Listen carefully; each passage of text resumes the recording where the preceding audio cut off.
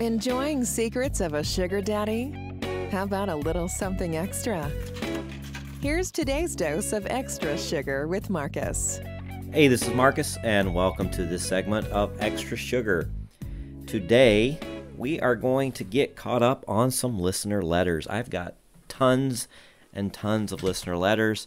We love you guys. Thanks for writing in. We do read them. And it's time to kind of get caught up on them. Now, a couple of them talk about the Patreon account, and let me just tell you, we're really populating the our Patreon account with lots of good photos, episodes before anybody else hears them. It's only $10 a month. And where does that money go? Well, it's very expensive to rent out the studio, and then I also pay Lily to help edit the episodes. And so it just kind of offsets those costs. And we have lots of great benefits. Like our next party, all the VIP members of our Patreon will get the first invitations. Also, we are adding coaching and profile reviews to our Patreon members. So if you are interested in getting a profile review from me or Lily and some coaching, just sign up. $10 a month is less than a meal at McDonald's. We really appreciate your support, and uh, then you'll become our favorite supporter of the show. Also, too, on Tuesday, we have a great episode coming out. This one's a little bit different. She has her own podcast called the Dichotomy Diaries podcast. And it's a personal journey that she has made when she met a gentleman and uh, they got married, and it was quite a rocky marriage. And she goes into a lot of things uh, of what made this very toxic and fiery. It's pretty interesting. Where it ties into sugar dating is that she did sugar date before her marriage, and then her husband was actually a sugar baby for other men before and during the marriage. So you'll definitely want to hear that interview on Tuesday. All right, let's get into a listener letters. Man, I have a bunch, and I'm going to try to go through as many of these as I can. I'm taking it back a few months, but this one is from Victoria, and she says, Hi there. I love the podcast and so glad I discovered it. I am an unassuming baby in and out of Sugarland since I was 21. I am 34 now. I am an equal opportunity baby. Lots of fun experiences and tips to be sustainable in this crazy life we choose to live. Hope you will consider me to come on the show in 2024. Cheers. So thank you, Victoria. I think we're going to try to reach out. And then I've got one from John, and he wrote in about two months ago and says, In 2006, I met a sugar baby on an adult website she was bisexual, a massage therapist, and a bondage model. We got engaged in 2007 at a swingers takeover in Vegas in 2007. Happily married from 2007 to 2012 in a 24 7 DS relationship. Since our divorce in 2012, I have happily dated a variety of sugar babies, one of which lasted more than a year when I lived in Manhattan. Alternative relationships can take on many forms. If you need a guest, let me know. All right. Thank you, John, for writing that in. I'll have Lily reach out. Uh, here's one from Steph. She says, Hey, I'm one of your biggest fans, an older sugar baby, 41. One year in the Sugar Bowl and never happier. Thank you for all you do. Hope to be at the next big party. Well, we hope you're there too. And if you're a member of the Patreon, you will definitely get the invite before anybody else. Here's a contact from Bobby. says, Hi, I love your show. It's really informative. I just had a question. In the extra sugar sugar baby allowance guy, you say that sugar baby doesn't need to pay taxes if she stays under the IRS definition of gifts. Then in extra sugar how to become a wealthy sugar baby, you discuss paying through an LLC. Wouldn't the IRS automatically make the sugar baby pay taxes if they have an LLC? I'm really confused on the tax topic. There seems to be a lot of contradictory advice, and I don't want to get myself or someone in trouble down the road. Also, if the sugar baby is an au pair from another country, How might taxes work? Thank for your thank you for your podcast. It's helping a lot of people who are really shy or weren't good at the dating scene.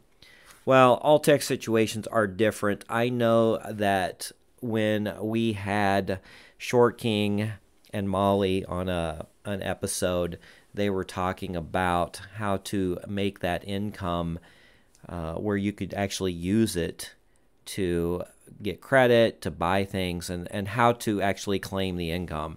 And so the best way to do that was through an LLC or your own business. And then that way you can write off things to offset that income. And then, of course, a lot of sugar babies get cash under the table and they don't claim it. So they may be trying to finance something, but they don't show any income, although they might be bringing in six figures a year. So it's all kind of on what your goals are and what you want to do.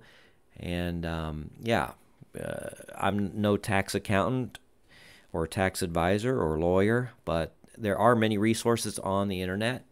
Or if you want to talk to an accountant, they'll give you some great tips and tricks on how to basically make that income taxable and then how to offset that income.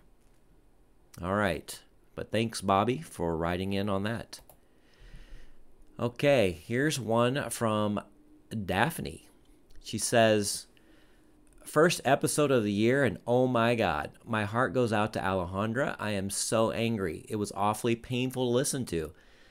Now, uh, she's talking about the episode where my sugar baby Alejandra talked about a BDSM date that went terribly wrong. People are so disgusting and he should be outed. It's stereotypical that it is a guy that's doing this to a woman. Unfortunately, even in my prime time now, I'm 21, 5 foot 3, and I don't go to the gym enough, but my ex sugar daddy was 57, 6 foot, but skinny man, and even though I could not push him off, when sugar babies meet and have intimacy with sugar daddies, we know there is an exchange. Sugaring is literally blood, sweat, and tears. We don't know if we are going to die, get kidnapped, get raped, or abused. We just trust that God sends an angel to protect us. This is way worse than having your career ruined because you have sex with younger women. I don't like it when men ask what we bring to the table. They don't realize how much we risk and how they are a part of the problem. I'm sure you have seen the spike in sexual assaults on Sugar Lifestyle Forum on Reddit. And if anything happens to us, we would be saying, well, I did this to myself because how much did we really need the money? It's not worth the risk to elevate our lifestyle. As Alejandra said about the victim mode and having to move on to not let it affect you, to walk away and just be smarter next time, sugar babies let so much slide with these sugar daddies men. We hurt ourselves to not hurt our little boy's ego. Sugar babies have to compartmentalize the, this whole other side of our life, our feelings, rejections, the trauma. That's why I never recommend sugaring to my friends, even if they are desperate. Yeah, I think I've actually read that one before, but uh, it, it, was good to, to revisit that one. And she just wrote that in like a month ago. So thank you, Daphne, for that. Uh, here's one from Jackson. Says, "Hey, loving the Short King episode. I am five foot two and 56. I usually see shorter women, but have had very good relationships with women of all heights, even six foot. It's so much more about the mutual connection. Yeah, I mean, unfortunately, height is a factor when women are looking for a mate, but it's just one factor. Um, you know, and you can certainly get past it. We have seen it. I've seen many guys that were, let's say, under average, and I believe like five foot nine is the average American male, somewhere around there. But you know what? There's so much more to than just physical height, and uh, you know, it actually for some people it's a blessing because it forces them or causes them to bring out other personality traits that you know, maybe a, a tall, good looking man who's six foot two and women just come to him easily, but he can be an absolute dickhead because he hasn't learned to develop his other personality skills because it came too easy. So, anyway, I, I look at it as it, it can be a blessing. So, thanks for the letter. All right, here's one from, it says, Sugar Baby Boy. Hello, Firstly, I would like to say I'm a huge fan of your show, even though I did only start listening about a week ago. Secondly, down to business, I am a recently 25 year old boy and I am gay. Could be bisexual, nonetheless, a sugar baby. I've been experiencing being sugared for years now, properly since I was 22. By properly, I mean being taken on trips and expensive dinners, hotels, the whole nine yards. My current problem is I've never tried to get that, and it just happened to be to me naturally. Still does, I never see it coming. The daddies that have made it happen before are infrequent, and we've developed a true friendship, and I value it too much. It was also never pre established what the relationship would be like. So, back to the problem. I never tried before, but now that I am, it's hard for me to entice the daddies. There are some that favorite me and I favorite them back, and sometimes they message first, and other times I message first. There are a couple where we have moved to other platforms to talk, but the conversation is getting dry. These are American daddies, and at the time the conversation started, I was living in Europe, and they said that they'd like to meet when I move back. Surprise, I moved back yesterday. Problem is, I strongly believe they expect me to come on my own terms and see this through, but I'm lacking the funds. Also, FYI, I am Canadian. I know my personality slays, and I never had a problem hitting it off in person. Online is really a test for me, as I think I'm just a real life type of person. I also am listening to your podcast and would like to know if there is room for anyone in my position that could benefit from checking it out. You guys sound like so much fun and would love to party with y'all regardless. But I also want to know if I get the opportunity, could I have realistic hopes? I know there are daddies that look at me on the low and I get approached. This boy just needs assurances and advice. Please, gang, help this boy out. I bet I'm not the only sugar baby boy who listens. And then he gives us Instagram, all the love, sugar baby boy. Well, I'll tell you what. I really appreciate the letter and again, if you want to come to our party and you want a guaranteed invite, go to our Patreon, sign up, and um, you're you're going to get an invite to a party, and you will have a lot of fun. Whether you're gay, whether you're straight, uh, we are a lot of fun, very accepting. And even though I personally don't swing that way, and most of the sugar daddies I don't, there are plenty of men here locally that would love to pamper you and treat you like a king or a prince. I don't know. I'm not used to that dynamic, but there is plenty of it going on here. So uh, I think you can find what you're looking for. Okay, here's one from Ellie. Thank you, Ellie. It says, We are intrigued by your content. Okay, and your smile. Would you please consider checking out our new podcast at talkingkinkpodcast.com and joining our conversation? We'd love to chat. Well, that sounds like an invitation to be on their podcast, which I'm going to reach out and gladly accept. So I look forward to talking kink with Alex and Ellie soon. I'll let you guys know when that episode hits. All right. And finally, here's one from Esther. It's a couple. This is a two-part letter. It says, "I just discovered your podcast last week, and I am loving it." Now, this was um, a few months ago. She says, I started from the beginning and have already binged the first 75 episodes. Back in 2015, I was a sugar baby on SA with no expectations of anything serious with anybody.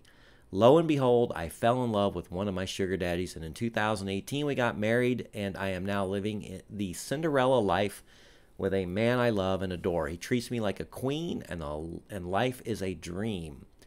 So I wanted to contact you since, as far as I can tell from the episodes I've listened to and previewing the titles of the episodes, I haven't.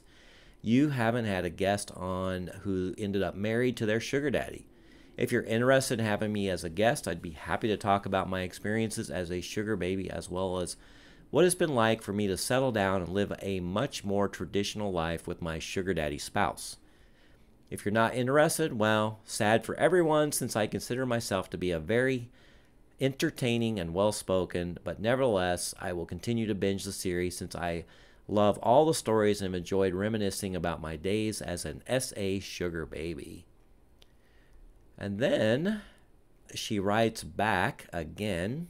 Yeah, we're definitely going to contact you. We're, going to hopefully get you on the show soon. But it says, this one was just uh, about a week ago. Hi, Marcus and lovely ladies. I love the show, only discovered the podcast a few months ago. Started at the beginning, and I am currently listening to episode 71. The last few episodes I've listened to keep making references to your wanting to interview sugar babies who married their sugar daddy. Well, that would be me. I was a sugar baby on Seeking many years ago in 2015. I met the most perfect sugar daddy who in 2018 became my husband. I've heard Marcus say that when people ask him where he meets these beautiful women, he will joke and say that he met them on Farmers Only. This is hysterical because that's exactly what my husband and I tell people as well when they want to know what app or website we met on. Great minds and senses of humor think alike, I suppose. Yeah, I do that, and it's kind of funny because people ask, "Oh, where'd you meet her?" And if you say online, then they, immediately they ask, "Oh, which which app or which site?" and I'll just jokingly say, "Oh, farmersonly.com." That's a great one, and I always get quite a reaction, sometimes of shock, of "Are you kidding me?" or "Is this for real?" so, anyway, it's it's pretty funny uh, comeback. Well, she goes on. Anyway, I live on the East Coast, Washington D.C. area, which is where I did my sugar dating, and I have a bunch of stories about my experience, both civilian and sugar dating. I'm happy to share but mostly I would love to come on the show and share what it's like to be married to a sugar daddy. For context, he and his ex wife were swingers, so I know a lot about that world too, in case it interests you. So for him to join Seeking post divorce was a natural place for him to gravitate to since he loved beautiful women who were open minded, like many of the sugar babies you know in Arizona. I was raised LDS and actually lived in Arizona for a period of time in the late 1990s. And when I left the Mormon church and was sowing my wild oats, I got so sick of being treated like my only value was my sexuality and my vagina that I finally thought that if that was my only value, I might as well make some money with it. So that's why I joined Seeking. I'm now in my late 40s and my husband is in early 50s. We are in a monogamous marriage, but we still have had great times in the bedroom, and I think he's the sexiest man alive. We travel the world in first class, live in a gorgeous home, own multiple investment properties, and are looking forward to growing old in a life of love and luxury. I have a podcast studio in my house. I was on a podcast last year, and my husband thought I was so incredible on it that he built me a podcast studio for Christmas in case podcasting was something I wanted to do more of. So I could do something virtually. I'm also happy to come out to Arizona because who doesn't want to get away from the cold this time of year? As I'm only on episode 71, maybe you do find a married sugar baby to interview, but if you haven't yet, or you just find my story intriguing, let me know. I'm happy to chat. Well, there you go. That is a fantastic letter. And yes, Esther, we will be reaching out soon. Definitely. All right. I hope you guys enjoyed today's extra sugar. It was a bunch of letters from listeners, and we absolutely love hearing from our listeners. They seem to be liking the show, but if you have any tips or suggestions or topics that you want to hear, we are open. Man, I've got a lot of good guests coming up, but we always like to get a little variety in the show. So let us know what you like. And again, if you want to message us on a Patreon, and if you're a paid member, you will definitely get priority status to us. And then uh, also follow us on Instagram at Secrets of a Sugar Daddy, and you can message us direct there too. We love that, and we get those right on our phone instantly. Okay, look for that new episode on Tuesday. I'm telling you, it's a good one. It's Amanda from the Dichotomy Diaries podcast, and you're not going to want to miss this one. All right, until next time, bye bye. We hope you enjoyed your extra sugar with Marcus. As always, visit our website, secretsofasugardaddy.com, to comment or tell us your story.